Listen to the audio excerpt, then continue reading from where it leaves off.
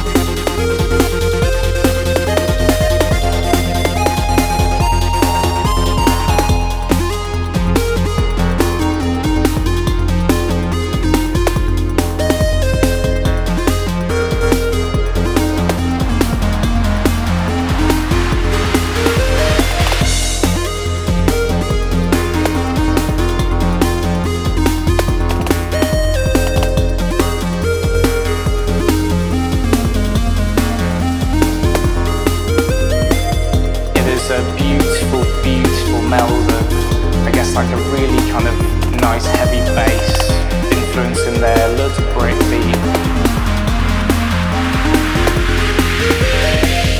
Nice heavy bass influence in there.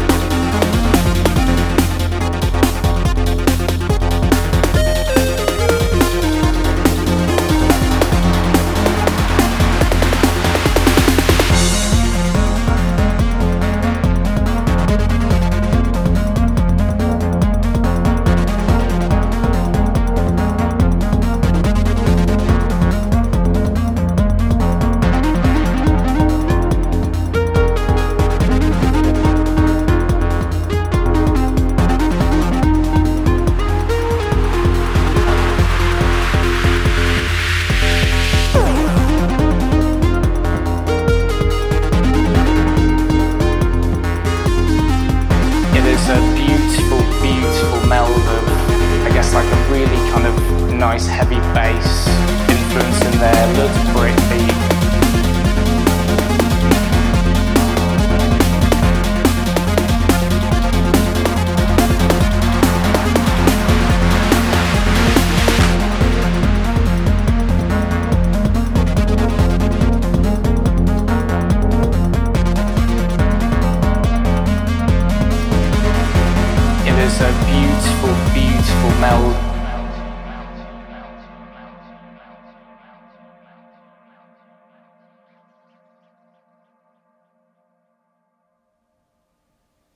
Okay, I want to show you guys the pieces that I'm using in this jam and how I've got everything set up and routed.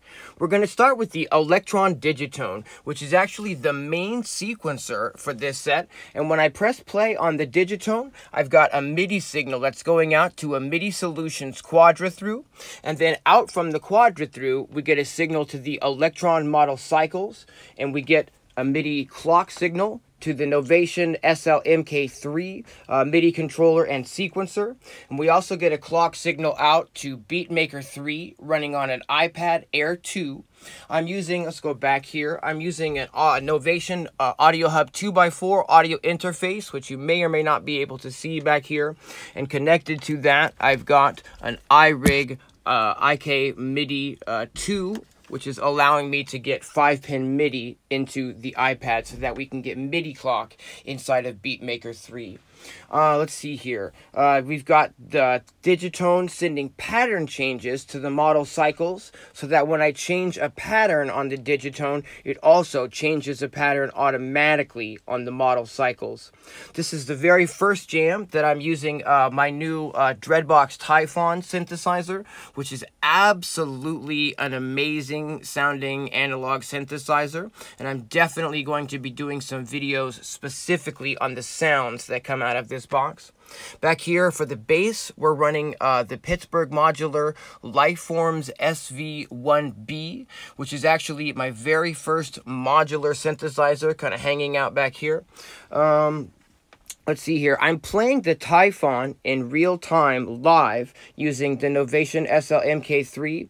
And what I'm doing is I'm able to hit record on the sequencer for the SL-MK3. And then I've got just an 8 bar pattern set up so that I can play the Typhon for 8 bars and then it will automatically start looping again. I've got two different uh, sessions that I saved that have an actual, um, uh, like a favorite loop that, that I played from the Typhon so that I can get back to some similar um, melodic uh, uh elements during the jam and not have to play every single uh, melodic element from the Typhon in real time. But this definitely gives me the ability to do that live looping, which you see in the jam, using the built-in sequencer of the SL-MK3. Lastly, over here, I'm using Beatmaker 3 to just add some riser sounds and some down filter sounds. I've actually programmed out a 64 bar loop, which is literally just running some crash cymbals and some uh, up like some riser samples um, every 16 bars to help the ebb and the flow stay consistent in the jam and just sort of push that forward momentum through. Last on the bottom row here, I've got those vocal samples that I'm able to trigger in real time during the jam. That's really about it for the pieces, except for one more uh, synthesizer. The Digitone is also sending MIDI uh, up here to this Novation KS rack, which I'm using to play a gated synth line. And then all of the audio of all of the pieces here is getting routed over here to this Behringer DJ mixer, which isn't a super high quality mixer per se, but it definitely gets the job done um, for me.